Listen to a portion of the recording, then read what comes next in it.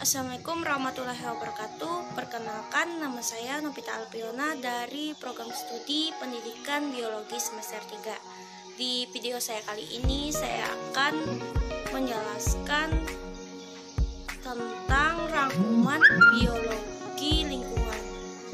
Selamat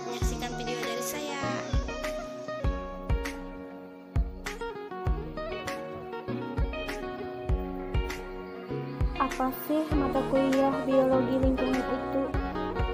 Biologi lingkungan merupakan mata kuliah yang memberikan pengetahuan tentang keterkaitan komponen lingkungan hayati atau disebut dengan biotik dan komponen abiotik serta pemanfaatan komponen hayati bagi lingkungan.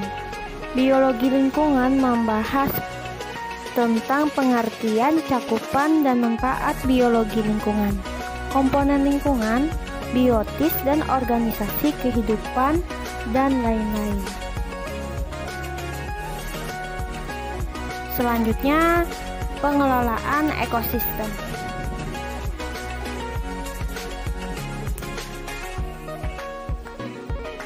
Lingkungan sebagai suatu sistem lingkungan adalah keadaan atau kondisi yang da yang ada di sekitar organisme.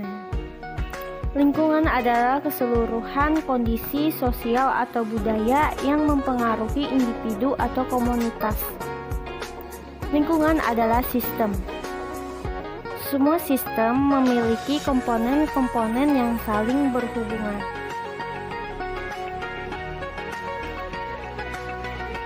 Ekosistem daratan yang penting bioma adalah hutan hujan tropis, hutan gugur daun temperata, taiga, tundra, padang rumput savana, padang pasir atau gurun.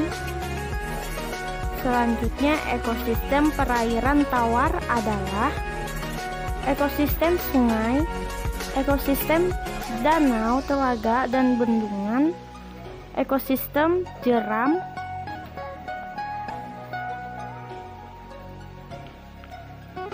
selanjutnya ekosistem perairan laut. Berdasarkan komunitas hewan dan tumbuhan, ekosistem laut, ekosistem pantai, ekosistem estuari, dan ekosistem terumbu karang.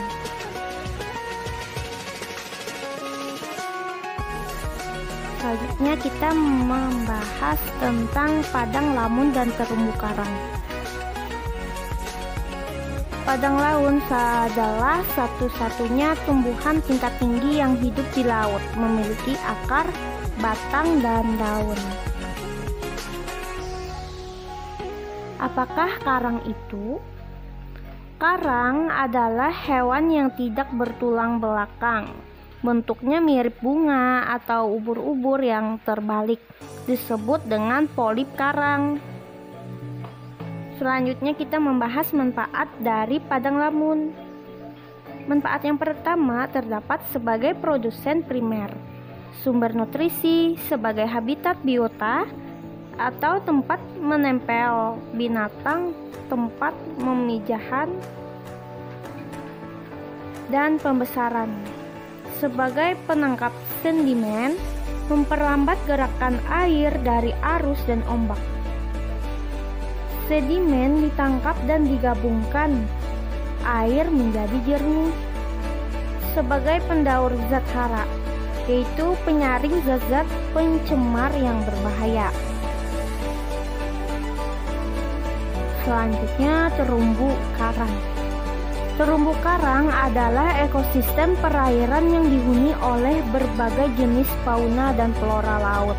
Umumnya didominasi oleh karang batu. Manfaat dari terumbu karang yaitu ekonomis, ekologis, ilmiah, dan teknologi dan estetika. Selanjutnya kita memasuki pembahasan baru yaitu in situ. Pelestarian in situ meliputi yang pertama yaitu cagar alam, suaka marga satwa, dan taman nasional. Pengertian dari in situ. In situ adalah usaha pelestarian makhluk hidup, tumbuhan dan hewan yang dilakukan pada habitat aslinya. Konservasi in situ. Konservasi in situ berarti konservasi dari spesies target di lapak non-site dalam ekosistem alami atau aslinya atau pada tapak yang sebelumnya ditempat oleh ekosistem tersebut. Secara umum, metode konservasi in situ memiliki tiga ciri. Yang pertama, fase pertumbuhan dari spesies target dijaga di dalam ekosistem, di mana mereka terdapat secara alami. Yang kedua, tata guna lahan dari tapak terbatas pada kegiatan yang tidak memberikan dampak merugikan pada tujuan konservasi habitat. Yang ketiga, regenerasi target spesies terjadi tanpa manipulasi manusia atau intervensi terbatas pada langkah jangka pendek untuk menghindarkan faktor-faktor yang merugikan sebagai akibat dari tata guna lahan dari lahan yang berdekatan atau dari fragmentasi hutan.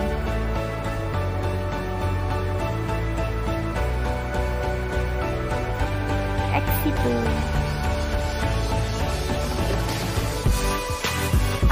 situ. Apa itu konservasi ex situ? Konservasi ex situ merupakan metode konservasi yang meng konservasi spesies hewan maupun tumbuhan di luar habitat alami ini.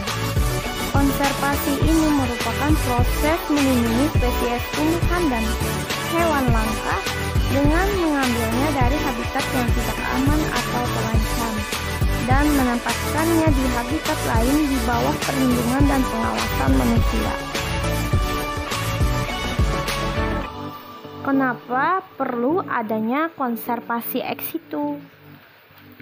Yaitu yang pertama untuk melestarikan dan melindungi keragaman biodiversitas.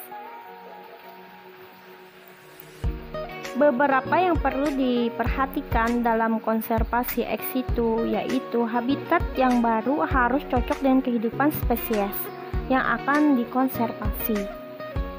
Habitat yang baru diupayakan semaksimal mungkin untuk menyerupai habitat alaminya dengan segala komponen-komponen yang ada di dalamnya. Kelemahan dari konservasi ex situ yaitu biaya yang mahal. Spesies akan cenderung kehilangan sifat adaptasi terhadap lingkungan alaminya. Spesies, terutama hewan, akan kehilangan insting berburunya atau mencari makanannya sendiri.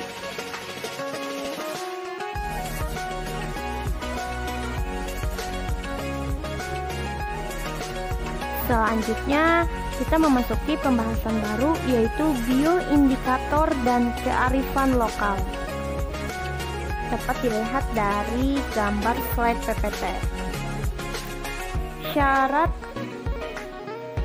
bioindikator yaitu yang pertama, organisme yang dijadikan sebagai bioindikator memiliki kebiasaan hidup menetap di suatu tempat atau pemencarannya terbatas.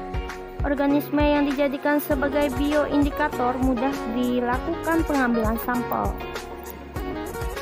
Akumulasi dari polutan tidak mengakibatkan kematian pada organisme yang dijadikan sebagai bioindikator organisme yang dijadikan sebagai bioindikator lebih disukai yang berumur panjang.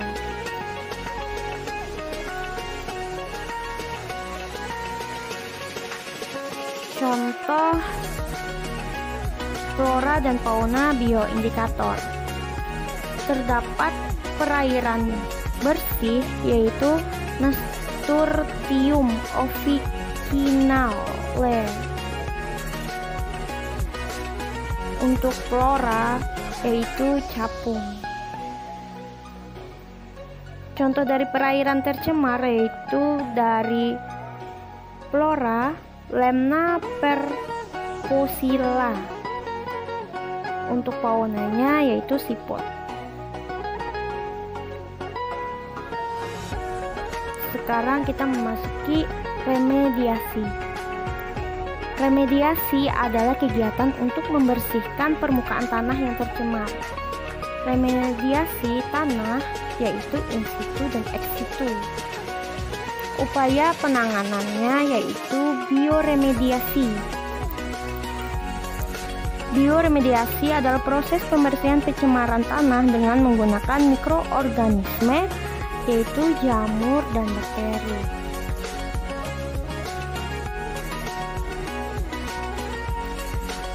Selanjutnya, pitoremediasi.